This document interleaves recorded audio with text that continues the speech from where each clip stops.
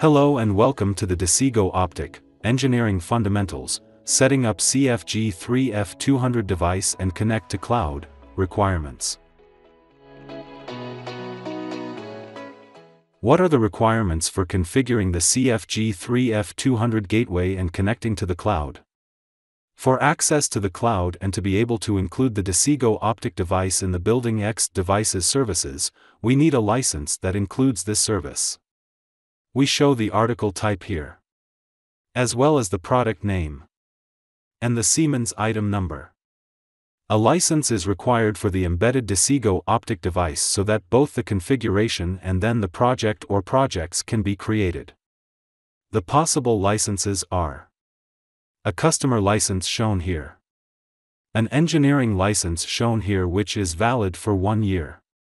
Or Siemens provides a training license valid for one month, free of charge, which can be downloaded from a share folder every month.